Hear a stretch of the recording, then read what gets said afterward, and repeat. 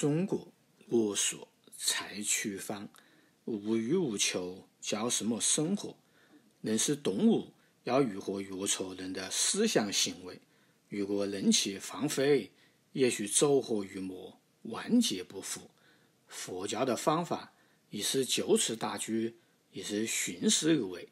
就此打住，就是要不停地念叨阿弥陀佛，好像转动经筒，周而复始，清寂梦语，排除心中一切杂念，愚人，愚人，愚人，引子，引子，引子，抽打陀螺。直到把自己抽打趴下，清波荡漾，莲花盛开，出现一方幻觉镜头。他的极端行为就是自虐残忍，烧掉自己的一两根指头。